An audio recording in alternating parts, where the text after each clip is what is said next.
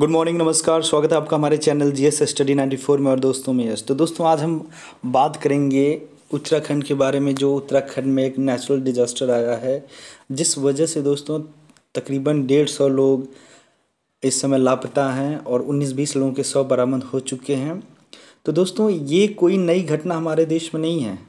यदि हम देखें तो आपदा से प्रबंधन के लिए, उसके बचाव के लिए हमारे देश में बहुत बड़े स्तर पर काम नहीं हुआ है। आए दिन जिस तरह से बारिश के मौसम में तमाम देश के कई ऐसे क्षेत्र हैं जो बह जाते हैं। बिहार में, असम में और महाराष्ट्र के कई ऐसे ज़िले हैं जो बाढ़ की चपेट में आने के बाद पूरी तरह से किसानों के फ़सल, किसानों के घर तहस नहस हो जाते हैं। ये कोई नई घटना नहीं है। हर साल ये घटनाएँ घटती ही रहती हैं। पर केंद्र सरकार और राज्य सरकारों के द्वारा हर बार आश्वासन दिया जाता है कि इस बार हम मजबूती के साथ, आप लोगों के साथ खड़े हैं। इसका व्यवस्था हम अच्छे तरीके से करेंगे। पर दोस्तों, फिर एक साल आता है, फिर न्यूज़ मिलती है कि कुछ लोग लापता हो गए। आपको याद होगा, शायद 2011 दस में एक नेचुरल डिज़ास्टर आया था उत्तराखंड में, जहाँ बद्रीनाथ जी हैं, जहाँ पे लाखों लोग बह गए थे, गायब हो गए थे। तो उसके बाद सरकार ने आश्वासन दिया था कि हम पुख्ता इंतज़ाम कराएँगे ऐसे धामों के लिए। अच्छी व्यवस्थाएँ देंगे। पर दोस्तों, आप देख सकते हैं कि बार बार वही घटना एक क्रमिक तरीके से घटती चली जा रही है, जो कि काफ़ी हास्यास्पद और निराशाजनक विषय हमारे देश में। चलते हैं दोस्तों, आगे देखते हैं। इस रविवार सुबह कोई साढ़े दस बजे उत्तराखंड के चमोली ज़िले में नंदा देवी पर्वतमाला का ग्लेशियर यानी हिमनद टूटकर तेज़ी से नीचे फिसला और श्री गंगा नदी में गिरा। इससे नदी के जलस्तर में अचानक उछाल आना ही था। देखते ही देखते रेडी गाँव के पास चल रहे छोटे से बिजली संयंत्र में तबाही थी और उसका असर पाँच किलोमीटर के दायरे में बहने वाली धौली गंगा पर भी पड़ा। वह भी निर्माणाधीन एनटीपीसी का पूरा प्रोजेक्ट तबाह हो गया। कई ध्वस्त हो गए और कई गाँव से संपर्क टूट गया। 2013 की केदारनाथ त्रासदी के बाद, देखिए जो घटनाएँ घटी थी 2013 में हुआ था, माफ़ करिएगा, मैंने 2011 या 12 बोल दिया था। 2013 की केदारनाथ त्रासदी के बाद देवभूमि में एक बार फिर विकास, बनाम विकास की बहस खड़ी हो गई है। जिस रैणी गाँव के करीब ग्लेशियर गिरने की पहली धमक हुई, वहाँ के निवासी 2019 में हाई कोर्ट गए थे कि पर्यावरणीय दृष्टि से इतने संवेदनशील इलाके में बिजली परियोजना की आड़ में जो अवैध खनन हो रहा है, वह तबाही ला सकता है। तो आप देख सकते हैं, इसके पीछे कौन लोग जिम्मेदार हैं। जब लोगों ने PIL public interest litigation, file किया था, उसके बाद भी चाहे हाई कोर्ट, चाहे सुप्रीम कोर्ट, उनका नहीं सुना गया, और जो सरकारें थीं, जो राज्य सरकारें कहाँ थीं? वो चंद पैसों के खातिर दोस्तों बड़ी बड़ी कंपनियों को कुछ ज़मीनें लीज पे दे देती हैं। वो एक बार भी नहीं सोचती कि उस खनन से, उस शोषण से, उस ज़मीन के, वहाँ के लोगों के जीवन पर क्या असर पड़ेगा? वहाँ के रहने लोगों का जीवन कितना प्रभावित हो सकता है? उन्हें कोई मतलब नहीं है। तो मैं चाहता हूँ कि ऐसे तमाम लोगों की जाँच होनी चाहिए, जिस वजह से आज सैकड़ों घर उस नदी की चपेट, उस ग्लेशियर के फटने से बह गए तारीखों और हादसा हो गया। इस तबाही ने यह स्पष्ट कर दिया कि हमें अभी अपने जल प्राण कहलाने वाले ग्लेशियरों के बारे में सतत अध्ययन और नियमित आकलन की सख्त ज़रूरत है। यदि नीति आयोग द्वारा तीन साल पहले तैयार जल संरक्षण पर बनी रिपोर्ट पर भरोसा करे तो हिमालय से निकलने वाली साठ फ़ीसदी जल धाराओं में पानी की मात्रा कम हो रही है। ग्लोबल वार्मिंग के दुष्परिणाम ग्लेशियरों पर आ रहे संकट को लेकर ऐसे दावे सामने आने लगे कि जल्द ही हिमालय के ग्लेशियर पिघल जाएँगे। इसके चलते नदियों में पानी बढ़ेगा और उसके परिणाम स्वरूप जहाँ एक तरफ़ कई नगर गाँव जलमग्न हो जाएँगे, वहीं धरती के बढ़ते तापमान को थामने वाली ओजोन परत के नष्ट होने से सूखे बाढ़ की समस्या बढ़ेगी। चलिए, अभी आज जो स्थिति है, हिमालय का धीरे धीरे जो है ग्लेशियर फट रहा है, पिघल रहा है तो क्या है नदियों का जो पानी है, उफान में आएगा। फिर इन्हीं नदियों का पानी समुद्र में जाएगा, फिर नद, समुद्र का पानी का जो स्तर वो बढ़ेगा, जो छोटे मोटे द्वीप हैं, जो छोटे मोटे शहर हैं, जो पूरी तरह से समुद्र के किनारे बसे हुए वो पूरी तरह से जलमग्न हो जाएँगे। और एक समय ऐसा भी आएगा दोस्तों, जब नदियों में पानी ही नहीं रह जाएगा, नदियाँ मात्र गड्ढे के रूप में रहेंगी, खाई के रूप में रहेंगी, जहाँ पे पानी नहीं रहेगा। जब हिमालय का ग्लेशियर ही पिघल जाएगा तो क्या होगा? उसके बाद आप देखेंगे कि एक ओजोन संकट हमारे सामने आएगा। तमाम तरह के जीव जिन, जीव जंतु जो हैं वो अचानक विलुप्त होने लगेंगे। इसका सीधा सीधा असर मनुष्य पर पड़ेगा। तमाम तरह की बीमारियाँ फैलेंगी। तो इस पर सरकार को दृढ़ प्रतिज्ञ लेना पड़ेगा, तब जाके कोई बात बढ़ेगी। हिमालय पर्वत के उत्तराखंड वाले हिस्से में छोटे बड़े करीब चौदह सौ ग्लेशियर हैं। सोचिए, चौदह सौ ग्लेशियर हैं और ये हमारे लिए जीवन प्राण है।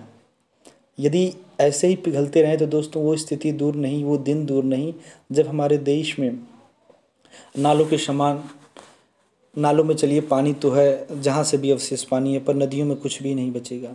आप एक चीज़ कभी कभार बैठ के सोचा करिए, विचार विमर्श किया करिए कि हमारे पृथ्वी पे, हमारे ग्रह पे सारी चीज़ें व्याप्त हैं, पर उनके संरक्षण के लिए कोई योजना नहीं है। कुछ योजनाएँ हैं तो बस पब्लिक को लूटने के लिए कि फला जगह हम पैसा लगा रहे हैं, यहाँ लगा रहे हैं, गंगा स्वच्छता में लगा रहे हैं बड़े बड़े उद्यान में, परियोजनाओं में लगा रहे हैं, जिससे जल संकट दूर किया जा सके वन्य जीवों का विकास हो सके, उनके संरक्षण की बात हो सके। पर दोस्तों, ये सब बेफजूल है। भैया, मंगल ग्रह पे कुछ नहीं, वहाँ पे तमाम तरह के जाँच विषय चल रहे हैं। कई हज़ार हज़ार लाख करोड़ रुपए लगा के तमाम तरह की योजनाएँ बना के वहाँ पे रॉकेट लॉन्च किए जा रहे हैं। पर फ़ायदा कुछ नहीं हो रहा है। हमारी पृथ्वी पे जो चीज़ें, अगर हम उसे ना बचा पाएँ जहाँ पे जीवन नहीं है, वहाँ पे हम संभावनाएँ देख रहे हैं। पर जहाँ पे जीवन है दोस्तों, उसे हम सुरक्षा और संरक्षण नहीं दे पा रहे, ये हमारे लिए अपमान की बात है। इस पृथ्वीवासियों के लिए अपमान की बात है। यदि यही स्थिति रही तो आने वाली जो जनरेशन है, उनके लिए एक विषय रहेगा कि भाई, पहले नदियाँ हुआ करती थी, इनमें पानी हुआ करता था, फिर वो भी जाँच का विषय बनेगा, शोध होगा। कभी कभार कुछ मूवीज़ आप देखते होंगे, जैसे एक्सपेक्ट करता है कि दो हज़ार पचास, दो हज़ार साठ कैसा होगा। न कहीं पेड़, न पौधे, सब चीज़ें टेक्निकली कोई सांस ले रहा पीछे गैस सिलेंडर बाँध के। तो ये जो एक्सपेक्ट किया जा रहा है, ये होगा। क्योंकि जिस तेज़ी से हम पर्यावरण को दूषित कर रहे हैं, पर्यावरण को बर्बाद कर रहे हैं, यही स्थिति रही तो दोस्तों वो दिन दूर नहीं। जो हम कल्पना कर रहे थे, वो जीवन हमें जीना पड़ेगा। राज्य के कुल क्षेत्रफल का बीस फ़ीसदी इस इनसे आच्छादित है। इन ग्लेशियरों से निकलने वाला जल देश के एक बड़े हिस्से की खेती, पीने के पानी, उद्योग, बिजली, पर्यटन आदि के लिए एकमात्र स्रोत है। ज़ाहिर है, ग्लेशियरों के साथ कोई भी छेड़छाड़ देश के पर्यावरणीय, सामाजिक, आर्थिक और सामरिक संकट का कारक बन सकता है। इसलिए 2010 में तत्कालीन मुख्यमंत्री रमेश पोखरियाल निशंक ने राज्य में स्नो एंड ग्लेशियर प्राधिकरण के गठन की पहल की थी। उन्होंने इसरो के निर्देशन में snow and avalanche studies establishment Chandigarh और देहरादून के B Wadia institute of Himalaya studies के सहयोग से ऐसे प्राधिकरण के गठन की प्रक्रिया भी प्रारंभ कर दी थी। दुर्भाग्य से उनके मुख्यमंत्री पद से हटने के बाद इस महत्वाकांक्षी परियोजना को ठंडे बस्ते में डाल दिया गया।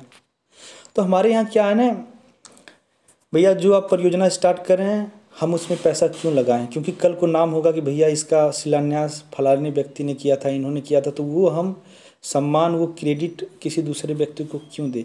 तो आपसी जो वर्चस्व की लड़ाई है, उसमें दोस्तों, पृथ्वी, देश जीव जंतुओं को बहुत बड़ा नुकसान होता आ रहा है और होता रहेगा, यदि यही स्थिति बरकरार रही।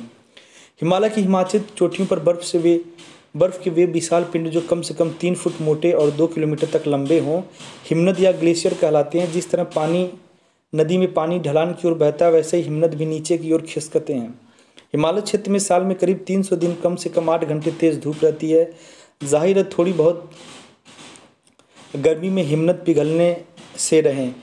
कोई एक दशक पहले जलवायु परिवर्तन पर गठित अंतर्राष्ट्रीय पैनल आईपीसीसी ने दावा किया था कि बढ़ते तापमान के चलते संभव कि 2035 तक हिमालय के ग्लेशियरों का नामो निशान मिट जाए। अब सोचिए, ठंडी में यदि ग्लेशियर पिघल रहा है, फट रहा है तो बहुत बड़ी समस्या हमारे देश के लिए, हमारे पृथ्वी के लिए है। तो गर्मी में क्या प्रभाव पड़ेगा? आप थोड़ा सा विचार करिए। तो सरकार बस उजूल फजूल के विषयों में हम, में और आपको उलझाए बैठी हैं, पर जो पृथ्वी का विषय है, जो पूरी जगत अंतर्राष्ट्रीय विषय है, उस पर दोस्तों किसी का ध्यान नहीं जा रहा है। जिनका जा भी रहा है तो वो इसको दरकिनार कर दे रहे हैं। पेरिस समझौता इतना बढ़िया था जो पृथ्वी के लिए खास तौर पर था ग्लोबल वार्मिंग के लिए था। पर दोस्तों, अमेरिका जैसे देश ने किस प्रकार से उससे किनारा कर लिया, आपको ये पता है।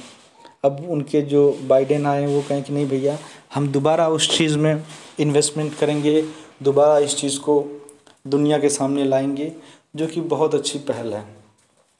इसके विपरीत फ्रांस की एक संस्था ने उपग्रह चित्रों के माध्यम से दावा किया था कि हिमालय के ग्लेशियरों पर ग्लोबल वार्मिंग का कोई खास असर नहीं पड़ा है।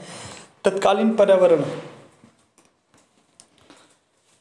मंत्री जयराम रमेश इससे संतुष्ट नहीं हुए। उन्होंने वी के रैना के नेतृत्व में वैज्ञानिकों के एक दल को ग्लेशियरों की पड़ताल का काम सौंपा। इस दल ने 25 बड़े ग्लेशियरों को लेकर डेढ़ सौ साल की आंकड़ों को खंगाला और पाया कि हिमालय में ग्लेशियरों के पीछे खिसकने का सिलसिला काफ़ी पुराना है और बीते कुछ सालों के दौरान इसमें कोई बड़ा बदलाव नहीं देखने को मिला। इस दल ने इस आशंका को भी निर्मूल माना कि जल्द ही ग्लेशियर लुप्त हो जाएँगे।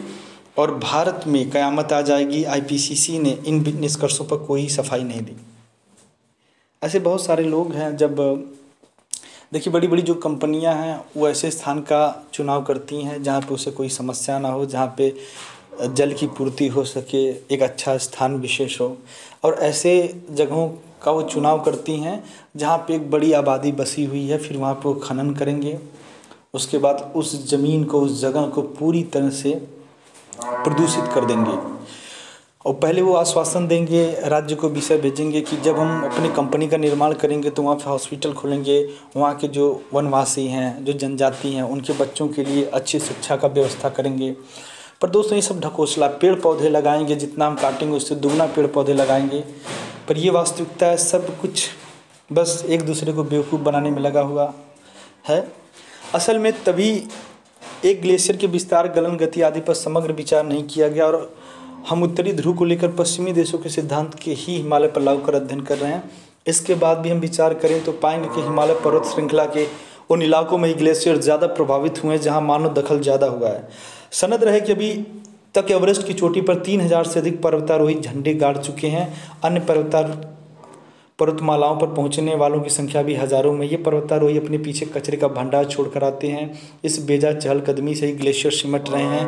कहा जा सकता है कि ग्लोबल नहीं, लोकल वार्मिंग का नतीजा यह भी, यह बात भी स्वीकार करनी होगी कि ग्लेशियरों के करीब बन रही जल विद्युत परियोजनाओं के लिए हो रही तोड़फोड़ से हिम पर्वत प्रभावित हो रहे हैं।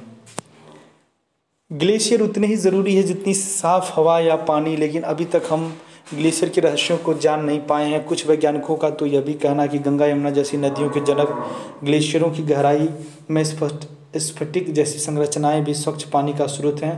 कुछ देश इस संरचना के रहस्यों को जानने में रुचि केवल इसलिए रखते हैं ताकि भारत की किसी कमज़ोर कड़ी को तैयार किया जा सके। इसी फिराक में ग्लेशियर पिघलने का शोर होता है, आशंकाओं के निर्मूलन का एक ही तरीका है कि ग्लेशियर अध्ययन के लिए अधिकार संपन्न प्राधिकरण का गठन किया जाए, जिसका संचालन केंद्र के हाथों में हो।